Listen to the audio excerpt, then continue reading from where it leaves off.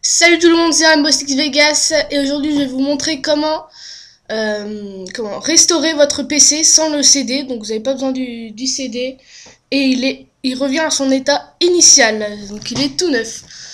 Alors vous allez aller dans euh, panneau de configuration. Donc sur Windows 7, hein. après sur Windows Vista, je sais pas trop comment on fait. J'ai pas de Windows Vista chez moi.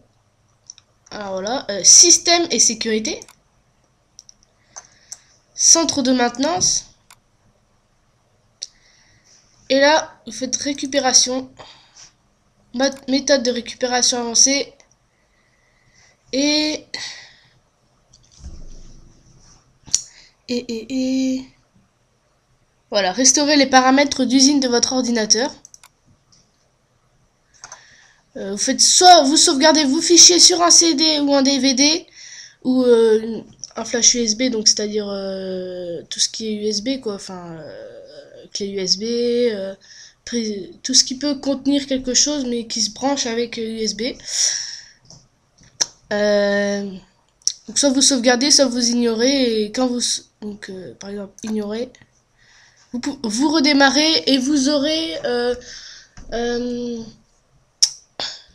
des trucs à faire comme quand vous avez eu votre ordinateur.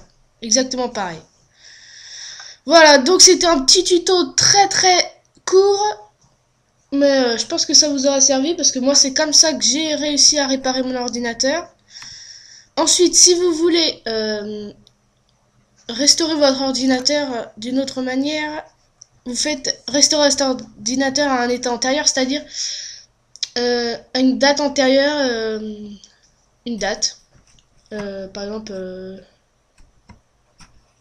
voilà une date de mise à jour. Vous la sélectionnez et euh, votre ordinateur revient à, à, son état lors de la mise à jour. Voilà, donc moi je n'ai pas fait ça. Voilà. Ensuite, si vous, si vraiment vous avez des gros bugs, des trucs qu'elles n'arrivent pas à s'enlever, vous n'arrivez pas à, comment enlever un logiciel euh, qui bloque votre ordi. Par exemple, moi, euh, c'était Snow, Snow Leopard euh, Pack, un truc dans le genre. Et bah, franchement, mon ordi buguait. Je pouvais même plus regarder de vidéos. Hein. Voilà. Donc, voilà, bah, j'espère que ce petit tuto vous aura aidé et, et ben on se retrouve à la prochaine pour une autre vidéo. Allez, salut